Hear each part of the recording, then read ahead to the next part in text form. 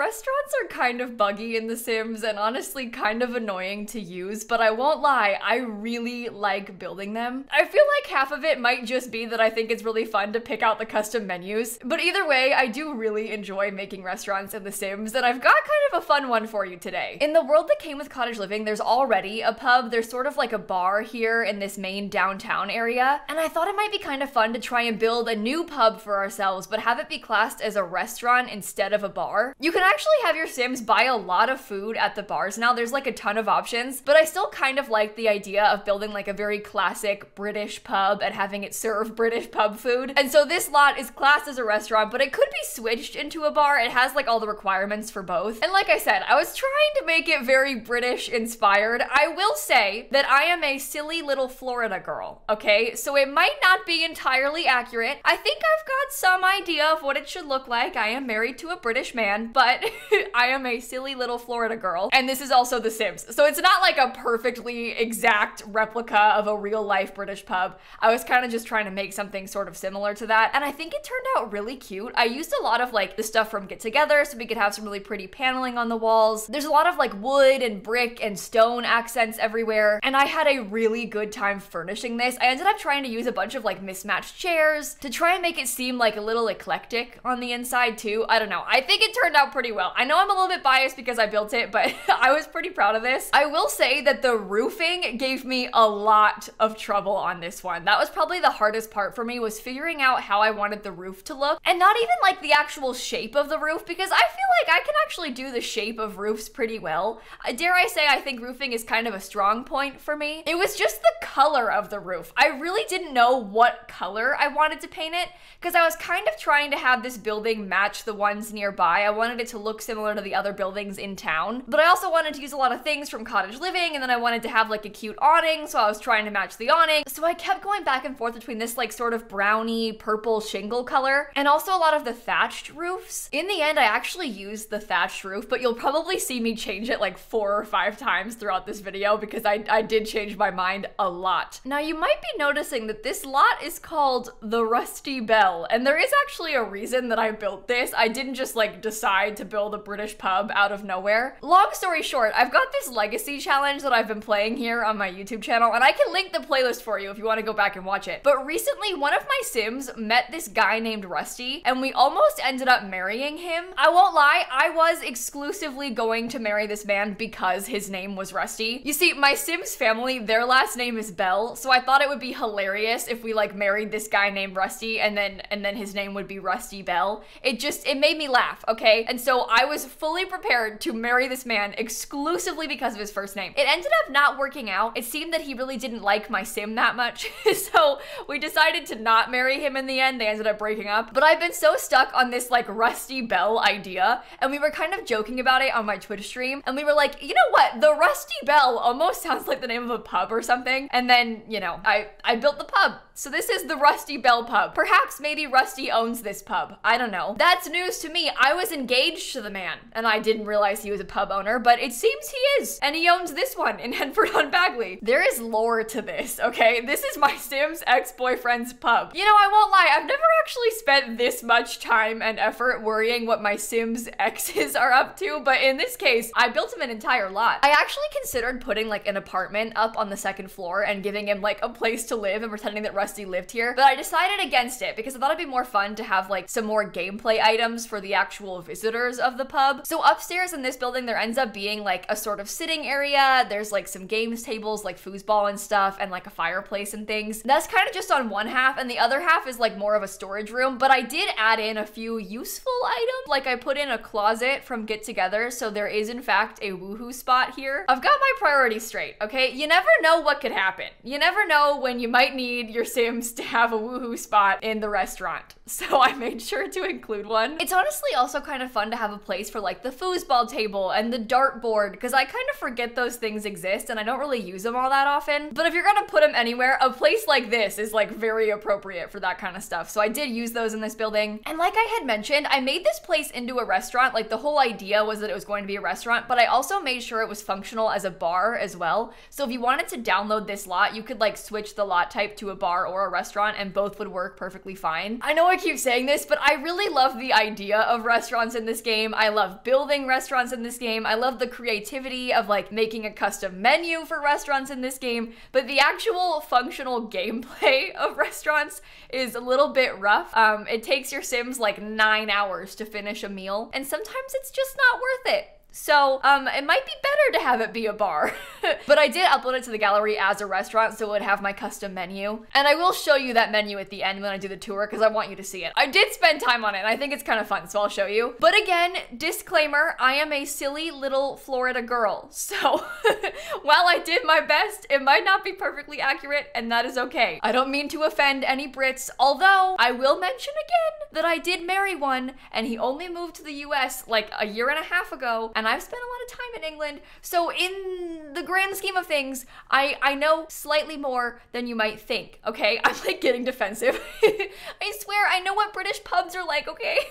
I've been to one. None of you care about this. Oh, okay. So you're gonna watch me place a lot of really nice terrain paint. I'm gonna spend a really long time doing some really lovely terrain paint on the outside here. And then I'm going to reload the lot to try and change the lighting color. And then all of my terrain paint is going to disappear. I'm telling you, this is the most irritating bug in the entire game. And I'm gonna keep complaining about it. I feel like I have this conversation in every single speed build, but it is so annoying to spend like a really long time figuring out terrain paint and then have it just disappear like that when you reload the lot for some reason. And it's been happening for years. This isn't even like a new bug, it's an old bug. It's been going on forever and they've never fixed it. I don't even really understand what it is, but sometimes when I'm building lots like this, I'm building this from Manage Worlds. If I go back to Manage Worlds, leave, and then come back with a sim or something, sometimes the terrain paint will just be gone. All of it, just gone. And I don't really understand like what about this causes that to happen. I don't really know how to like work around it. It's even happened when I've like come back into the game after closing the game. So say I built like half of this today and then tomorrow I wanted to come back and finish the second half. If I reload, sometimes the terrain paint will disappear. And this is like not always that big of a deal. Like sometimes on smaller houses or like less complicated terrain things, it's like fine. I can just like put it back onto the plants or whatever. But I've done builds where it's like a really fancy farmhouse or something. So I've done like really detailed terrain paint. I've tried to do like alternating shades of grass to look like rows in the farm, or you do like layered terrain paint to make like a kind of cool dirt path. So you've put a lot of effort into it and then it just goes away. Oh, it's so annoying. It is so annoying. The other weird terrain paint glitch is when you place a lot, sometimes the terrain paint will like scoot over. I don't really get that either, but there's a bug where if you download a lot off the gallery, sometimes the terrain paint will be like a smidge to the right for some reason. And so say I had like put a terrain path down, it might not like line up perfect with the front door anymore, but in my game it did. Just when you download it, it's like scooted over for some reason. You might have seen both of these happen before and oh, they are so annoying. I would love for the Sims team to fix them. I'm just gonna keep complaining about it for the next however many years until they do because it's been happening forever. This is not a new bug. This may have even been happening since before they added terrain tools. And I don't just mean like ponds from cottage living. I mean like since we first got hills and stuff. I, I think it's been happening for that long. Anyway, let me explain what's happening here on the build now because I've made some more progress. So in the back of the lot, there's like a door that comes out from the kitchen and there's kind of like a closed in, fenced in back garden space. I wanted to furnish that a bit like a garden. So I had like the trash can there, but I also put a couple like planter boxes. And then in the front, we have some more outdoor space. Like there's a big bricked patio and I wanted to put some tables and stuff. And I will say, I had a really hard time picking the tables that I wanted to use because I wanted to have like an umbrella to sort of break it up and have some more color. But then I wanted to have like a picnic table, but I didn't love the umbrellas on the picnic table. So I just kept changing my mind about which tables made the most sense. And of course, there was also a lot of feedback um, from people in England in my Twitch chat that hated what I was doing.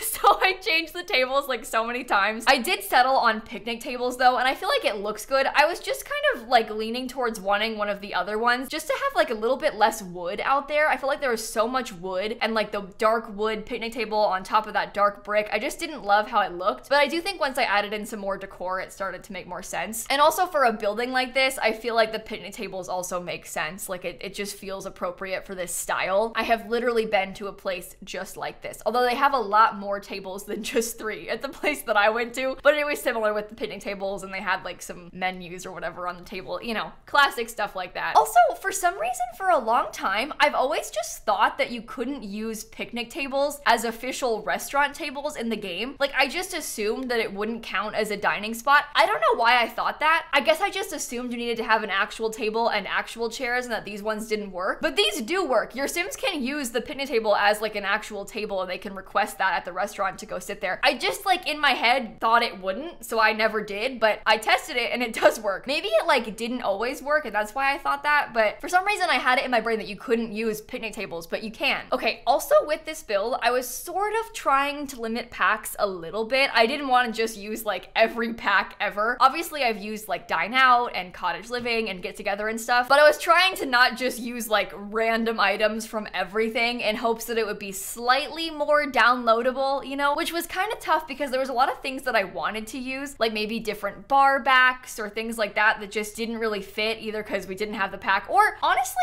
when I was trying, a lot of them did not look good. There was a lot of discussion in my Twitch chat about like what bar back we should do because there isn't actually one of those that came with Cottage Living. We have a few really cool ones from like different packs. There's like an awesome one in Strangerville. There's a really nice one in Get Together, but none of them have, you know, age old problem. None of them have matching wood swatches. So I wanted to try that Get Together one, but then it just did not look good with this bar from Cottage Living. The colors were just way off. So I ended up not using it. I kind of made my own using some counters and like a menu and stuff, and I think it looks okay. Oh my god. And the other problem is that I so badly wanted to have like a big open space upstairs. I was thinking about having like the whole thing be one room and not just a storage room. And so I wanted to have like the staircase be open around it, like a big open landing. And I was trying so hard to use it. But the problem is when the roof clips, you have to like kind of do some things to mess with it and make it so the roof isn't clipping. And you can usually fix it by like lining up the edges of the roof pieces exactly with the wall and then it won't be clipping anymore unless the roof trim is too wide and it clips through the wall. So in this case, I was trying to do that. I was trying to fix the roof from clipping and I was putting like, you know, the roofs lined up against the edges. I had it all fixed just like normal because dare I say, I've got some experience with with fixing roof clipping. But because I was using that cottage living like thatched roof, the thatched roof trim is super wide and so it clips through the wall still even despite my attempts to fix it. So I just couldn't have the like opening in the floor. It's fine. It isn't a big deal. I just kind of wanted to have like a wider opening around the stairs and you just can't do that here. For some reason in The Sims 4, as soon as you put fences into a room, it just goes all downhill immediately. You try and put fences to have an open landing and it's it is all downhill from here. It does not work. I've made some videos like roofing tutorial type videos that I can link down below for you where I kind of explain that and show it off in more detail because there are usually ways around it, but this one this one was just not. this one was not for me. One thing that I did love about this building though was the inside and like the chair layout of the tables. I wanted to do like a kind of mismatched dining chair thing in this building. I've seen this done before in real life where like fancy dining rooms will have like different chairs at the tables, like all kind of mismatched. And this is embarrassing, but I just did this in Animal Crossing. I was making like an Animal Crossing like dinner table setup and I had this long banquet table with like different foods on it and then different mismatched chairs. And I loved it so much that I wanted to try and do it in The Sims. I know this is embarrassing. So I did it here. And I think it looks kind of cool. It's like a series of a bunch of different wooden chairs. This whole place is like very wooden on the inside, but I almost think that the mismatched woods and the mismatched chairs kind of look cool. You could pretend that they like thrifted them, or maybe the building is so old that they've, you know, renovated a few times and they've got old chairs or whatever. I just think it gives a lot of nice character. It's kind of hard to make buildings look old in The Sims, especially because in real life, a building like this would not necessarily be as uniform as The Sims is. Like it might have, you know, kind of off walls and like the ceiling might be super low. It was probably built like a really long time ago. And so The Sims being just like a big box makes it kind of hard to, to get that sort of character in it. But I do think we succeeded, okay? The Rusty Bell is a very beautiful building and I am proud of how it looks. I mentioned earlier that upstairs I kind of tried to make a game room. This was me adding in a bunch of the stuff that I needed for like the bar lot requirements. I had all the restaurant stuff easy, but for the bar I needed to have like a TV and a stereo and the TV and stereo stuff didn't really fit downstairs that well. So up here I was kind of trying to, to get those things. I feel like the TV requirement for the bar lots in The Sims 4 is supposed to be kind of like sports bar-y. Like I think you're supposed to have it for that reason. And I think you probably would find people watching sports here, but it just didn't really really fit how I had laid out the downstairs, how it was kind of more like a restaurant. So up here, I tried to make it a bit more casual. I had like one tiny old TV up there. There's like the foosball and a dartboard. There's even some books and some decor and stuff. And I do think that it looks okay. I probably would rather to have not had the TV here, but I really wanted it to function as a bar as well in case like when playing in it, you wanted to switch between a bar or a restaurant. So I made sure I added it. And then through that door in this like back dark room that I've left empty, I kind of made that into more of a storage room. That's where I kind of considered maybe having like a fake apartment that Rusty Bell could live in. Although I guess his last name is not Bell. His name's Rusty. I forget his actual last name. It would have been Bell had he married us. Maybe that makes this kind of weird. Like the fact that Rusty got dumped by us and then built an entire restaurant called the Rusty Bell.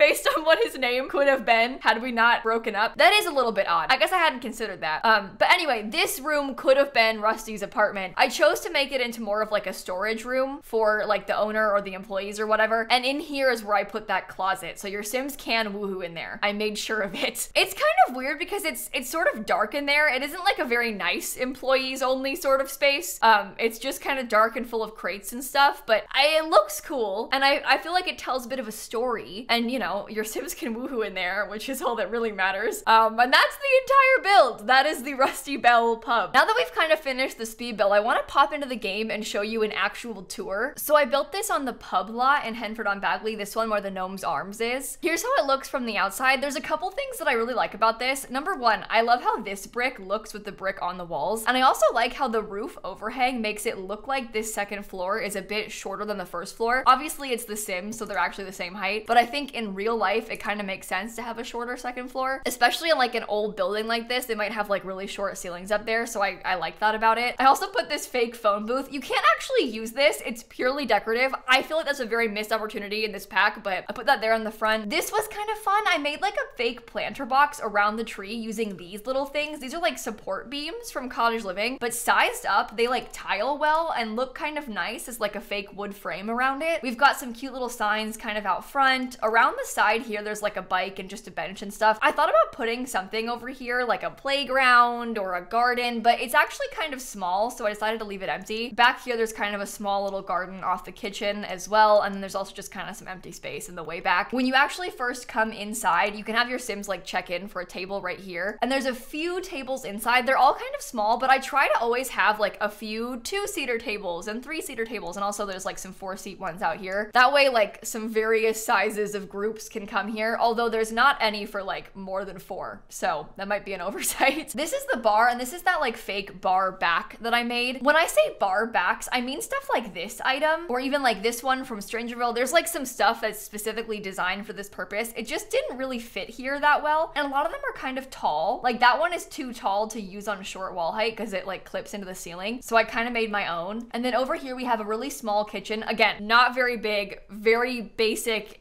exactly what you need. But I think this building kind of calls for that. And then over here, we have the staircase upstairs and the bathroom. There's a really small bathroom here. It's just got like one sink, a seating area, and a couple toilets. I don't think it needs to be anything super fancy, but it, it works. And then upstairs is just like some games and stuff. We got foosball, there's some music. I will say this was making me really, really angry. I was trying to use this item, the dartboard, and I wanted to put it somewhere, but I was getting so mad about how this line was like layering on top of the rug. I understand why it's there, like gameplay wise. It just was bothering me so much how it was right there. And I couldn't really find a spot that made more sense for it than right there. So I just left it. But this, this line was making me so angry. And then just through here is that tiny little storage room. This is the woohoo spot I was talking about. And there's just like a desk and stuff. I didn't really want to put a lot of things up here that Sims would autonomously use because for the story, I didn't really want anybody going into the storage room unless like you were sneaking in there to use the closet. That is so gross. I'm so sorry. But I felt like this wasn't really supposed to be a public space, so I didn't want to put a computer in case like, you know, Geoffrey Landgraab came and started like playing video games on it because it would be kind of weird. Oh my god, it reset my outfits. I picked custom outfits for this. D is my menu fine? Okay, I think my menu is still there. That makes me feel a little bit better. I picked kind of a small drink menu. We've got a few appetizers, things like salad and fries and, you know, soup and stuff. For the mains, there's kind of a good collection of like some breakfast things like pancakes and eggs and toast and stuff. But we also have like roast chicken and shepherd's pie and like fish and chips, you know, um, all the things they added with cottage living that are supposed to be British food. Bangers and mash. We also have faux meat and mash. So we've got some good options. And then for all the desserts, I picked like scones and crumpets. I'm sorry. I had fun with this. I won't lie. It isn't a huge menu either, so hopefully it's not like overwhelming when you bring your Sims here. But that is the Rusty Bell. I've got it on my gallery if you want to download it. The lighting on this lot is not very good. I feel like it's not doing it justice, but I'm actually really proud of this and I had a lot of fun building it. If you like build videos like this, I do a ton of this kind of thing on my YouTube channel, so feel free to subscribe. Thank you for putting up with my rambling for the last 20 minutes, and I think on that note, I'm gonna end this video right here. Thanks for watching, have the best rest of your day, and I'm gonna catch you all tomorrow, okay? Bye everybody. There's something about the hosts being in suits that just does not fit the vibe that I'm going for. I'm so annoyed that it reset my custom outfits. I don't know why it does that. That's one of the other really annoying restaurant bugs is the resetting of staff outfits.